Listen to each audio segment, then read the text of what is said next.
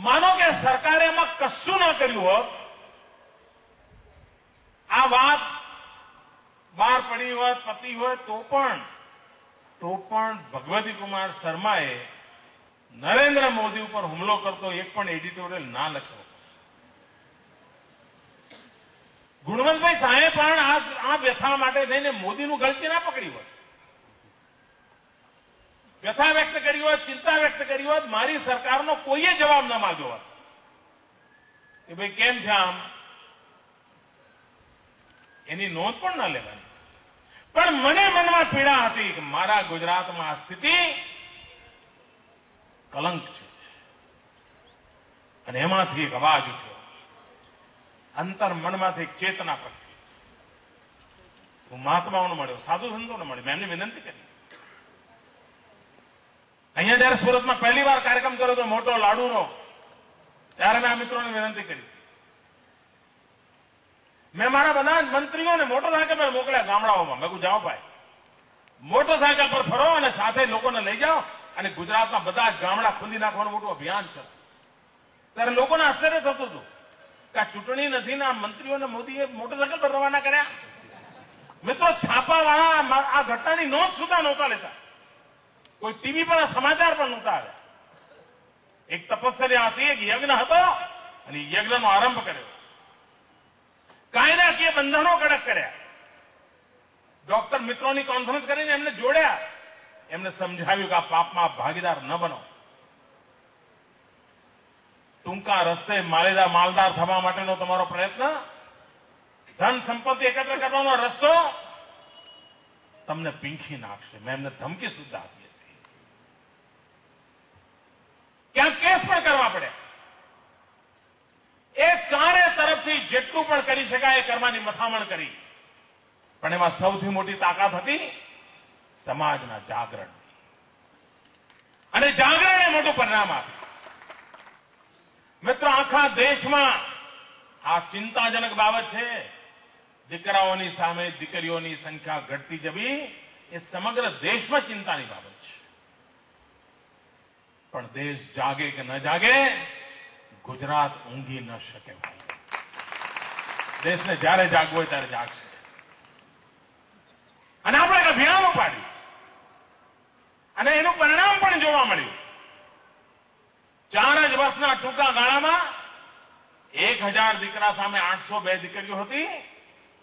હવેની જે સ્થિતિ છે એક હજાર દીકરા સામે લગભગ આઠસો ને ચોર્યાસી દીકરીઓ આપણે પહોંચ્યા છીએ, લગભગ આઠસો ચોર્યાસી.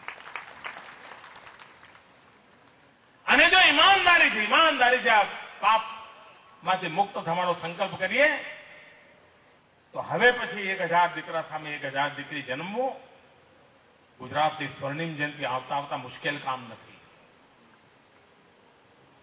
જૂનો જે આંકડો છે, એ ખોટ ક્યારે પૂરા થવું નથી જાણતો. પણ નવા જન્મવાની બાબતમાં સ્થિતિ સમાન થઈ જાય, એ સ્થિતિ લાવવી મુશ્કેલ નથી. ભૂતકાળની ખોટ પૂરી કરવા માટે કદાચ સમય લાગે. પણ નવું પાપ ન કરીએ, તો સમાન સ્થિતિ લાવવી મુશ્કેલ કામ નથી. અને એમાં યાત્રા એમાં યાત્રા એક નવી તાકાત પૂરશે એવો મને વિશ્વાસ આ વખતે જયારે શિક્ષક દિવસને દિવસે મેં સમગ્ર રાજ્યના દોઢ કરોડ જેટલા બાળકો સાથે વાતચીત કરી. અને એના પછી તરત જ અહીં સુરતની અંદર દીકરીઓએ પત્રો લખીને ગુજરાતના અઢારે અઢાર હજાર ગામમાં એક જ કલાકના ટૂંકા ગાળામાં લાખો પત્રો લખી દીધા.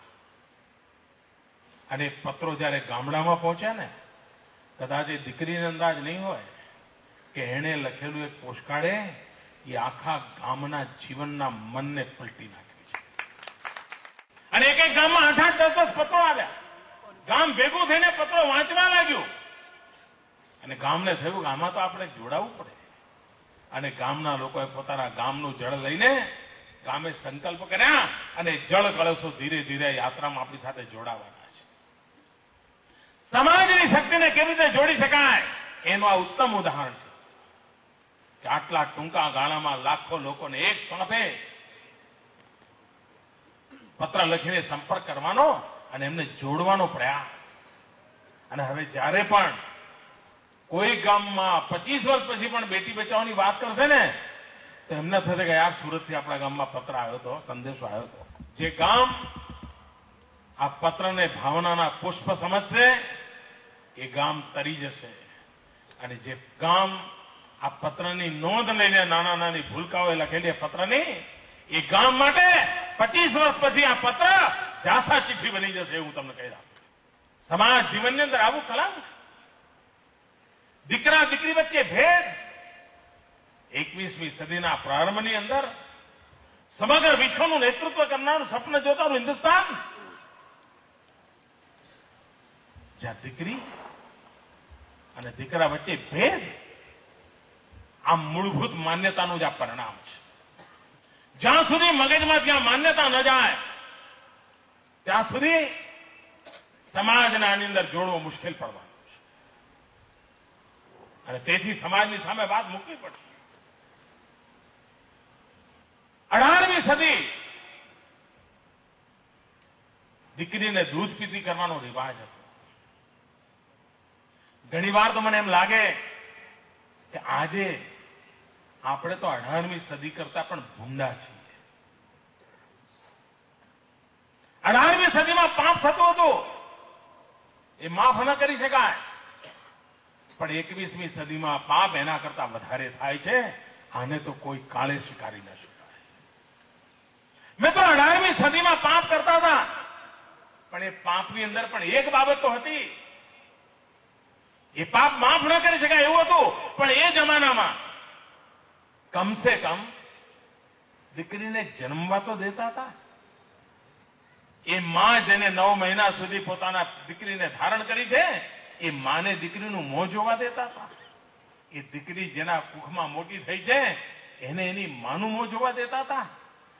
આ સૃષ્ટિ પર એને શ્વાસ લેવા દેતા હતા. ઈશ્વરની આ રચનાને એને નિરખવા દેતા હતા. પછી બે મિનિટ, પાંચ મિનિટ, સાત મિનિટ પછી દૂધના તપેલાની અંદર ડૂબાડી દેતા હતા.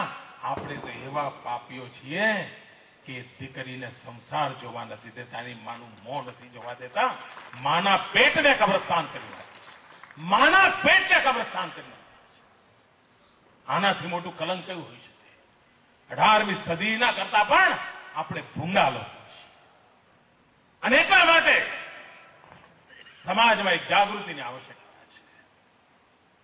કેટલાક લોકોને એમ લાગતું હોય છે કે દીકરો હોય તો સારું ગળપણ ઠીક જાય. જરા નીકળો ને, ગામમાં ફરવા નીકળો ને, ખબર પડે. મેં એવા કુટુંબો જોયા છે કે જ્યાં ચાર ચાર દીકરાના ચાર ચાર બંગલા છે, ચાર ચાર ગાડીઓ છે, પણ બાપ વૃદ્ધાશ્રમની અંદર જિંદગી કાઢે છે. એવા મેં દીકરાઓ અને મેં એવી દીકરીઓ જોઈ છે. જે દીકરીઓએ એકની એક દીકરી મા બાપનું જીવન જાળવું જાય એટલા માટે પોતાના સપના એને રોળી નાખ્યા. અપરિણિત રહીને બાપ આપની સેવા કરે, નોકરી કરે, મજૂરી કરે. મા બાપને દુઃખી ન થવા દીધા એવી દીકરીઓ જોઈએ છે. તો પછી ભેદભાવ શાના માટે?